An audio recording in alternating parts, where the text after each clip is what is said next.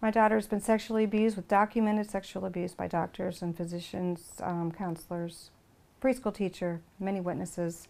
Um, it's all been ignored, and she's living with her perpetrator. And this is a, a custody that turned into legal abuse, family court corruption. is involving money, and this needs to be investigated immediately. So please do that. Thank you.